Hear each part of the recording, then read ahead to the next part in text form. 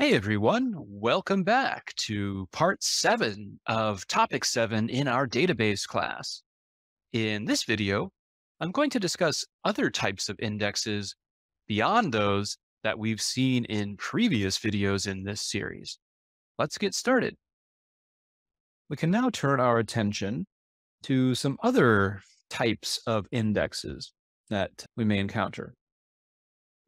Now, I should note that SQL Server provides us with no way of choosing any of these indexes ourselves. So, for example, we're next going to talk about a bitmap index. Last time we talked about a B tree index. We have no way in SQL Server of choosing the index type ourselves. So the underlying data structure that forms the index is chosen by SQL Server. This is not universally true across enterprise level database management systems. So there are some other ones out there where you as the database administrator could choose a different type of index. Nevertheless, uh, that doesn't mean that these aren't useful. As we'll see here with the bitmap index, there are certain, certain circumstances where a bitmap index is extraordinarily useful. There's great benefits for us. So let's take a look at our next type of index, which is a bitmap index. And this is a completely different idea, a completely different structure from a B tree. So what we're doing here is if we have, say, one column that contains a relatively small number of unique values, and we have then another column, then we have rows that, uh, you know, could potentially be one or more of those values, then we could use a bitmap index structure. And uh, what we have then is essentially a table. The bitmap index is, it looks like a two-dimensional table with the rows and columns where the uh, two attributes that are involved are, you know, listed one vertically and one horizontally. And we essentially fill in the cells with ones and zeros to indicate whether or not a particular row of data is associated with a particular value of our attribute of interest. So if you are into analytics or data science and you know about dummy variables or one hot encoding, this is exactly the same idea, right? We're just using a bit value that is a one or a zero, true or false, yes or no, to indicate whether the value of one attribute is associated with a particular value of another attribute. So when we have a situation where we have two attributes that have a small number of unique values, or we have, you know, just one attribute and we're looking to do this by rows of data in the table, but it, it doesn't work well if you have lots and lots and lots of unique values. But if you have a small number, this can work exceptionally well. Indeed, as it says here, when used properly, these types of indexes can be very small, maybe requiring only, you know, about one quarter of the additional disk space that would be required by an equivalent B tree index. And uh, could also be up to 10 times faster. And the reason why is that we're just dealing with bits, right? It's the smallest possible unit of information, a one or a zero. So the database server to judge things, we'll do bitwise comparisons, which are the fastest types of comparison operations that a computer can perform. So it takes a very, very small amount of information, just a single bit, right? Just a single bit of data.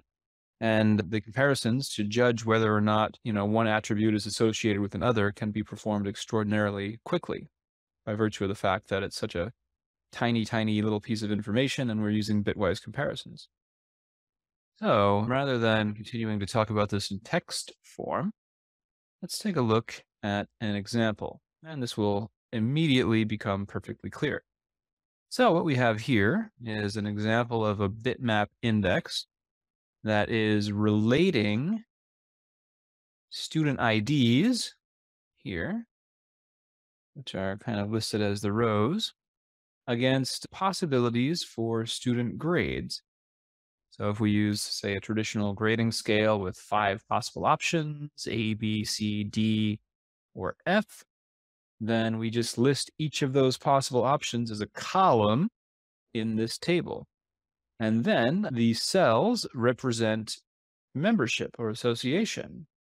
So if we're looking at student 101, we see that the value of column B is 1, and all the other values are 0. This indicates that this student received a grade of a B,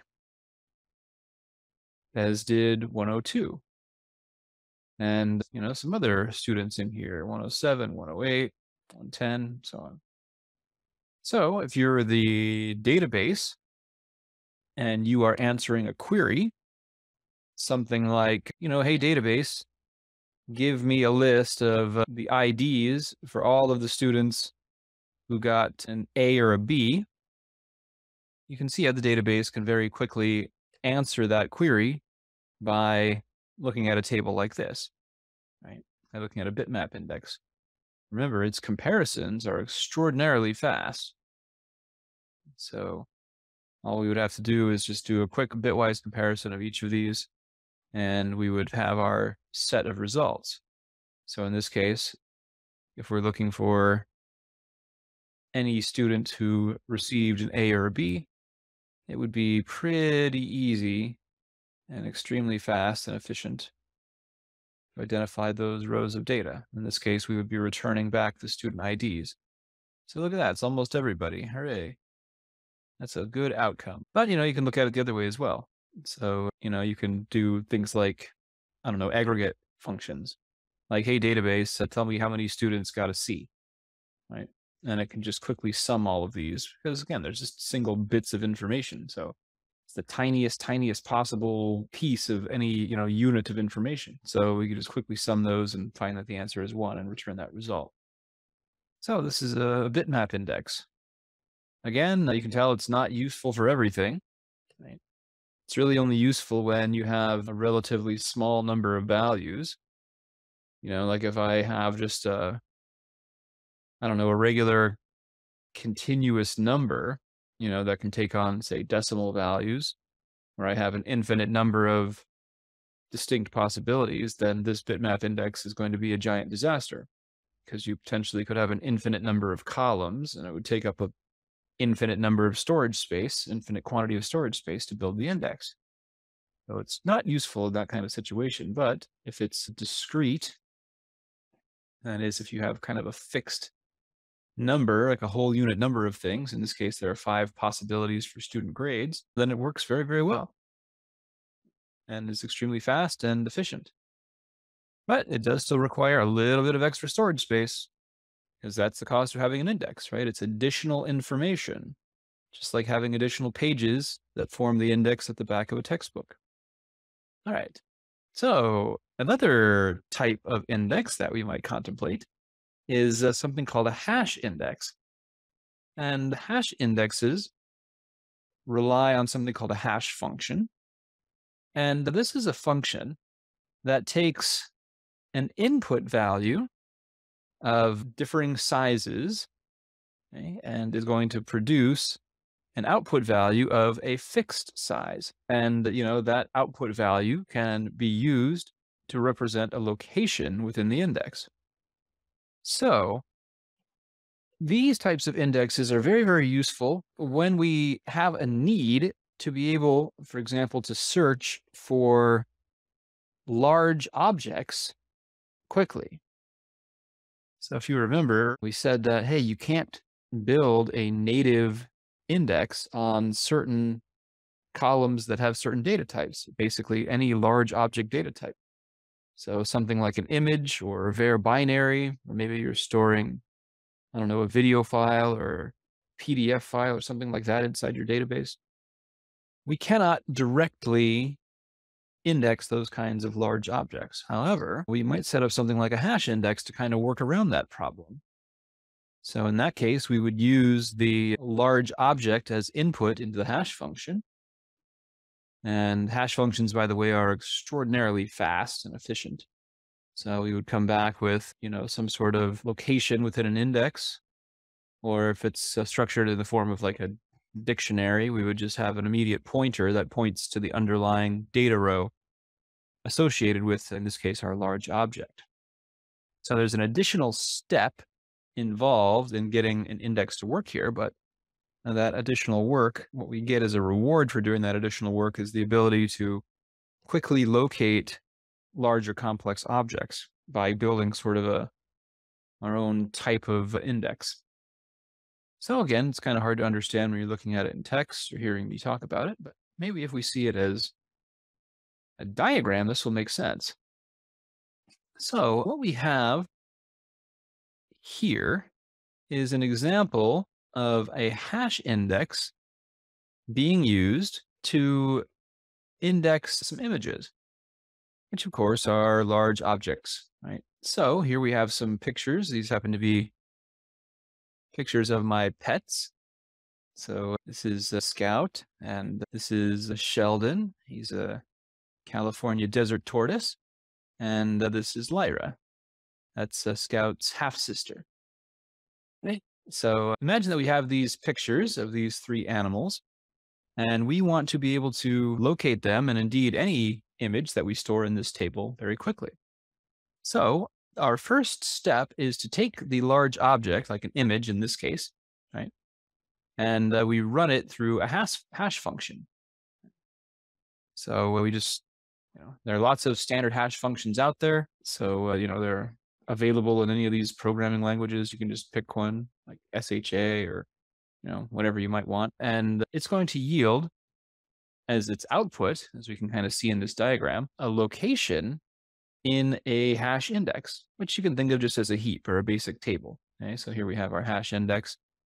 And you can see that when we run these images through there, we get just a, a location. And that comes with a pointer. The pointer tells us in which row we should look, or in this case, maybe it's a primary key, in the underlying data table, right?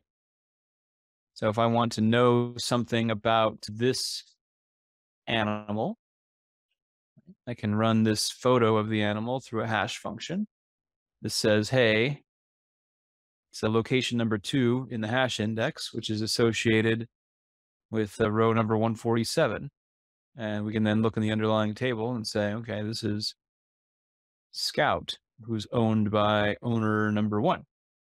So this is kind of how these hash indexes work. It kind of serves as a it's like the hash index kind of serves as a you know a quick lookup table where you can take a complex object like an image or a video or I don't know an MP3 file or whatever you want, and it's like Word documents or PDFs or whatever, and uh, we can have a way of quickly locating any of them inside of a database table just by running them initially through a hash function and using a hash index. So that's pretty cool.